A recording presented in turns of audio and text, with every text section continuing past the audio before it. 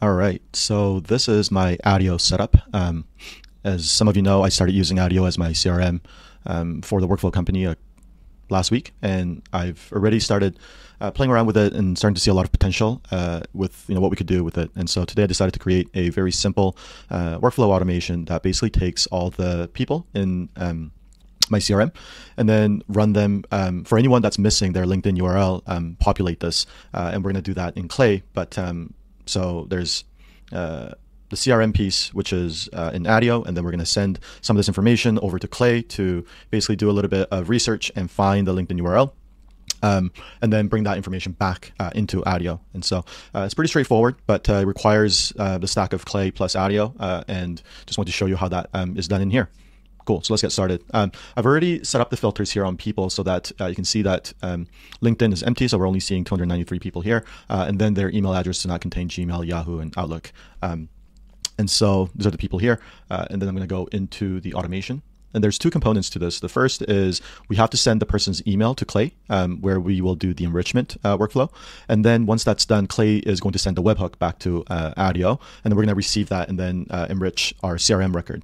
Now, um, this is because of the way that Clay set up. Like if Clay had a, if we could set up an API endpoint, uh, send send this information, right? Send this information to Clay, wait for Clay to do its thing, and then receive back um, the enriched LinkedIn URL from Clay. Um, as a response to that API call, uh, then we could do it in one um, automation uh, workflow. But uh, the way that Clay is set up, Clay can only receive a webhook uh, and then send out a webhook um, at the end of that. So this is why we need to sort of uh, separate this one workflow automation out into two different pieces. So if you go to the first one here, send person's um, email to Clay uh, to enrich LinkedIn URL. I'm currently doing this manually um, because there's a whole bunch of people that were brought into the CRM when I first set it up, and uh, there is, uh, I'm just going to align this because I kind of like doing this. Uh, what was I saying? Right. So there's a whole bunch of people uh, that were missing LinkedIn URL. So we're just doing bulk run. But um, once I'm done with this, uh, I can I can change the trigger um, such that uh, whenever a new person gets created and we don't have their LinkedIn URL, uh, then it automatically triggers that person uh, that person's LinkedIn URL to be enriched, right? So we can we can make that change later. But for the time being, I'm going to manually run this, uh, and what I'm doing is I'm finding records of everyone, all the people that um, whose LinkedIn is empty, and then their email addresses are not personal, so their business uh, email because those are the people that we would want to re- uh, to enrich with LinkedIn URL. And then we're just going to loop uh, through all the records that we find. So I've set the limit to 60, but I'm going to change that to 100. Uh, actually, I'm going to change it to 50 because my current workspace workspace settings uh, limit is set to 50. So I, I, don't want this to error out. I'm just going to set it to 50 for now, but I can always increase that later. Cool. And then now it's going to uh, it's going to try to find up to 50 records, and then once it finds it, it's going to loop through them, right? And then it's going to send an HTTP HTTP request to Clay so here's the webhook receiving clay table that I have set up. Find person LI URL from email. Shout out to uh, Andreas because he shared a template um, doing this, and I was like, I don't want to spend time uh, trying to recreate, uh, like reinvent the wheel. Um, and so I basically took Andreas's um, template and just used it, which is pretty awesome. Uh, it requires a Serper uh, subscription here, uh, where we find the LinkedIn person's profile. Uh, but otherwise, it's, it's, quite straightforward with a little bit of um, AI sprinkled in there.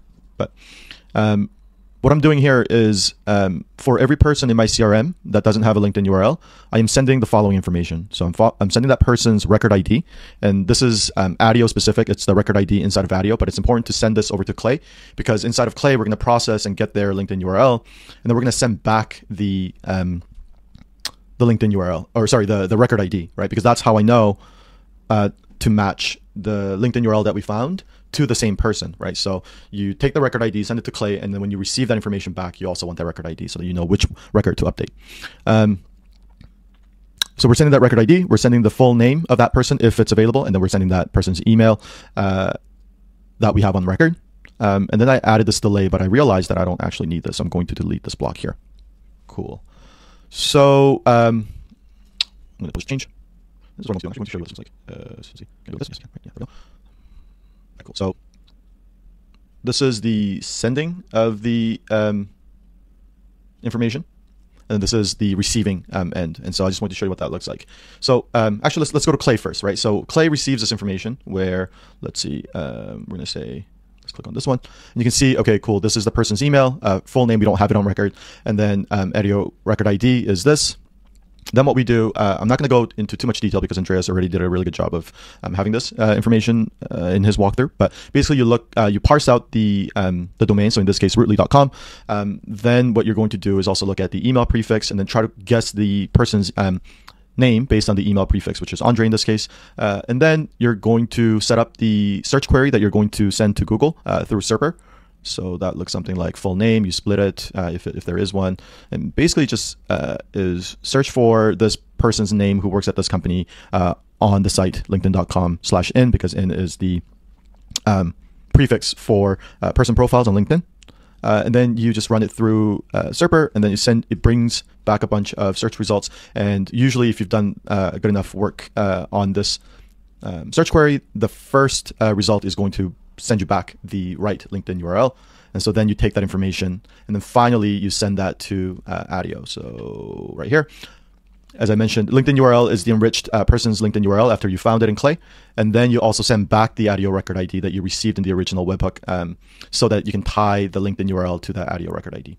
And what happens on the receiving end is over here. So you receive the webhook, um, webhook from Clay. You parse that JSON because that's how it's uh, that's how you receive that information. So um, record ID is going to contain the record ID, and the LinkedIn URL is the person LinkedIn URL. And then you're going to find that record based on the record ID, right? So record ID is, is equal to the parse JSON record ID.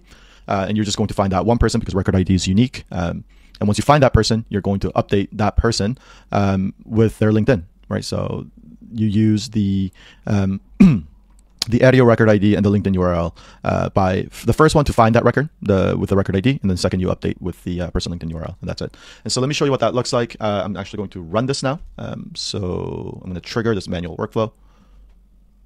Then so it's triggered. Now it's finding records, and then now it's going to start looping through all of those records uh, and then updating them and then sending them to Clay. And you can see these webhooks come through right here, right, as you get this information uh, from Attio, and then it's doing its thing, sending it to Serper, trying to find that person. And when it does find someone, uh, personal LinkedIn URL, then it's going to send that information back to Attio so that we can update uh, inside of Attio. Let's see. All of these people um, I've run through and I couldn't find uh, their information. Uh, many of them, I'm getting a lot of um, no hits here because uh, a lot of them are ones that I tried to run this workflow earlier before recording this and I couldn't find them. Uh, but it's because uh, some of them are like Albert Einstein, uh, which obviously wouldn't work. Um, oh, there's one here. Uh, Kyle Nichol- Nicholson, we were able to find their LinkedIn URL. So then now we send it back to Attio. And if you look at Attio here, you can see, for example, it's running right now, right? So as we start receiving these results from Clay, these are running. Uh, and then where you see that is here under people.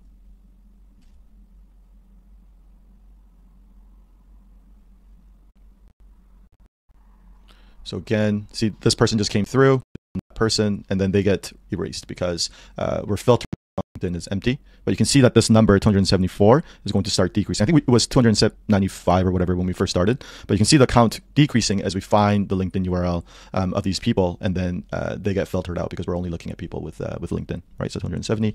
Um, and is done running? Yep, it is. So uh, then I can run this again. But um, oh, and then the last thing that I want to um, share is obviously if um, you do this manual, I'm doing this manually because there's a whole bunch of people that I need to enrich uh, because I just started using Attio.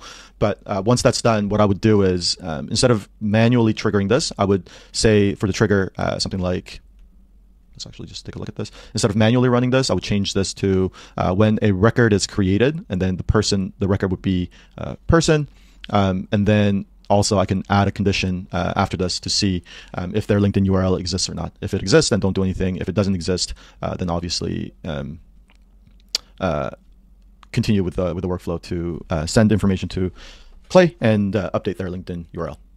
So that's it for a very simple CRM enrichment inside of um, Attio and Clay. Hope you hopefully found this useful. Uh, if you have any questions, uh, feel free to drop them in the comments. Thanks.